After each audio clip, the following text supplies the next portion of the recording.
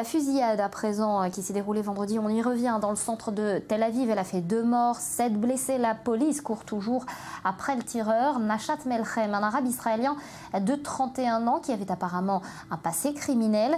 Eh bien, hier soir, le Premier ministre Benjamin Netanyahou s'est rendu sur le lieu où s'est déroulée l'attaque. Il s'est exprimé. Regardez. Vendredi, premier jour de l'année 2016, le bar Simta de la rue Dizengov de Tel Aviv pris pour cible par un homme armé.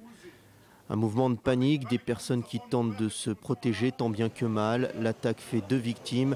Chimi Ruimi, 30 ans, venu fêter l'anniversaire d'Ariel, son ami, et Alon Bakal, 26 ans, responsable du planning des serveurs de ce lieu très fréquenté à cette heure de la journée. Dix personnes ont été blessées à des degrés divers. L'un d'entre eux se trouve entre la vie et la mort. Le Premier ministre Netanyahou s'est rendu samedi soir pour déposer une bougie en souvenir des. La police israélienne et le Shabak travaillent sans relâche à l'arrestation des meurtriers. Je viens juste d'être pleinement informé de leurs actions. Ils font cela avec les meilleures forces de sécurité et les plus compétentes d'Israël.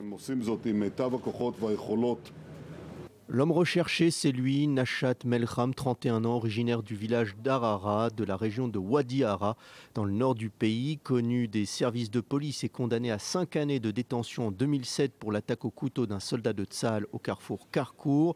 Il avait tenté aussi de lui subtiliser son arme. Sur cette vidéo amateur, on le voit quelques minutes avant l'attaque dans la boutique située à côté du pub visé. Son père l'a reconnu peu de temps après la diffusion des images.